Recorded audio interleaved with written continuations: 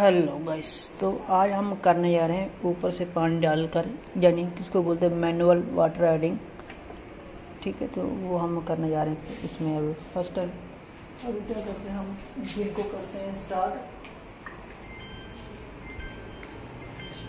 Door open पैसे ही बजा रहा है। तो ये मशीन हो गया हमारा स्टार्ट ठीक है। तो अभी हम क्या करना है? इसके अंदर क्लॉथ्स डालने हैं।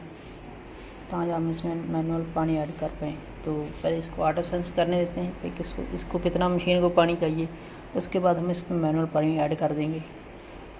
ठीक है? तो या फिर हम ऐसा करते हैं, पहले इसमें पानी डाल देते हैं तो उसके बाद हम सर्कल साइकिल यूज़ करेंगे कौन सा हमें इसको चाहिए, ठीक है? पहला हम मेथड यूज़ करेंगे, पहले कपड़े डाल के, फिर उसके ऊपर इसको ऑटो सेंस करते हैं मशीन को, फिर हम इसमें ठीक है, पानी डालते हैं, मैनुअल पानी। चलो आएगा इस जैसे कि आप देख सकते हैं, मेरे पास ये टैप है तो अभी टैप ये बंद टैप है। इसको चालू नहीं किया है, ठीक है, उधर से।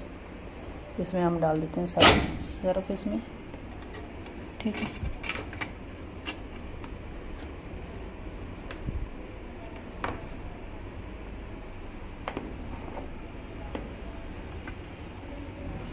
पहले हम इसमें कपड़े डाल देते हैं। आप देख हमने इसमें सर्फ भी डाल दिया और इसमें कपड़े भी डाल दिए। देख सकते हो अभी हम करते हैं मशीन को स्टार्ट या हम ऊपर से सीधा पानी डाल देते हैं। ठीक है, ये अभी हमारा मशीन बंद पड़ा एक तरह। तो इसको हम बंद भी कर देते हैं। ये देख सकते हो। फिर हमें अभी अब हम टैप से पानी डालेंगे इसमें। तो अभी आप देख सकते हो, हमने टैप चालू कर रहे हैं और ऊपर से पानी डाल रहे हैं इसके कपड़ों के ऊपर, ठीक है? मैनुअल पानी डाल रहे हैं इसके ऊपर। आप देख सकते हो, हमारा फुल प्रेशर वाला पानी है। तो हम इसमें मैनुअल डाल रहे हैं। आप भी ऐसा कर सकते हो, ठीक है? ये बहुत जल्दी इसमें फिल हो रहा है पानी। जब तो पानी फिल होता है, हम काम कोई और कर लेते हैं। आपको अपने मुताबिक पानी डालना है इसमें, ठीक है? और कभी भी टैप को ऐसे छोड़ के फाड़ना मत क्योंकि मशीन के अंदर पानी चला जाएगा। अगर ऊपर से पानी डाल दो आप ऊपर इसके पास खड़े में हो जाओ, फिर ही डालना पानी इसमें। क्योंकि ऑटोमेटिक मशीन जब तक चलता है तो ऑटोमेटिक पानी लेता है। जब हम छोड़ के चले जाते हैं मैनुअल पानी डालते हैं तो मशीन का कोई जिम्मेवारी नहीं होता कि हम इसमें कितना पानी डालें, कितना ना डालें, ठीक है?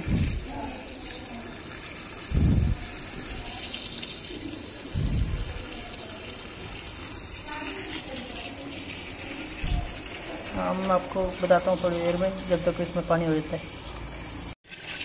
अभी आप देख सकते हो, हमारा पानी इसमें फिल हो चुका है बहुत सारा मशीन के अंदर। आप देख लो। इसका बहुत ज़्यादा प्रेशर आई है तो जल्दी इसमें फिल हो गया पानी। अभी हमको क्या कर रहे हैं, इसको थोड़ा सा और फिल करते हैं, और उसके बाद ये टैप को नल को बंद कर देंगे। ठीक है? ये मैनुअल पानी जो हम डालते हैं पाइप से, इसको हम बंद करते हैं।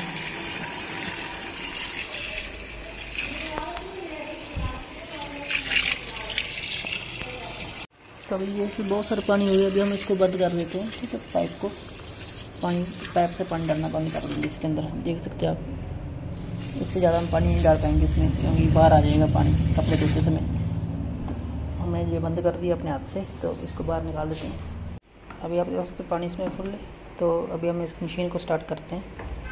और इसमें आप डिटर्जेंट डाल देना पहले से थोड़ा सा अगर इसके अंदर डाल देना मैंने इसके ऊपर डाला है तो वो आप इसके अंदर डाल देना डिटर्जेंट ठीक है? आप इसके अंदर मत डालना आप इसके अंदर डाल देना डिटर्जेंट ठीक है? जब आप ऊपर स्पन डाल रहे हो तो, तो मैं भूल गया था इसके अंदर डाल दिया अभी ये इसको जब अगर पानी लेगा तो जी इसमें से निकाल लेगा डिटर्जेंट अभी हम मशीन करते हैं स्टार्ट ये देखो हमारा मशीन हो चुका स्टार्ट अभी रिन्स टू टाइम कर देते हैं, ठीक है? और वाटर लेवल एट पे कर देते हैं। वाश ही हमारा है। वन आवर कर दे स्पिन टू स्पिन को अगर हाई करना हाई कर दो। अगर लो करना लो कर देना, ठीक है?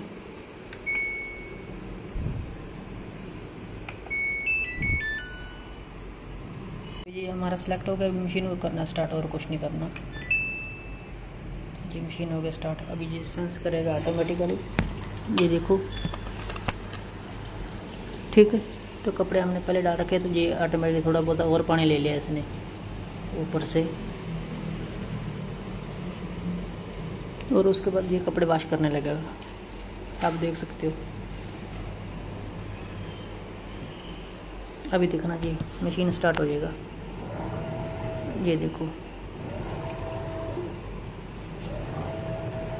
ठीक है? ये हमारा मशीन अभी कपड़े साफ़ कर रहा है ऑटोमेटिकली हमने और कुछ नहीं किया इसमें, बस ऊपर से मैनुअल पानी डाला है। यही बोल रहा था, अब लेवल जितना पानी का कम रखोगे, उतना आपका फ़ायदा होता है जहाँ से आप आठ पे रख देना, ठीक है? नाइन पे मत जाना, आठ पे रख देना। क्योंकि थोड़ा सा पानी लेता है ऊपर से और मशीन इस तरह आप अपने मैनुअल कपड़े पानी ऐड करके धो सकते हैं।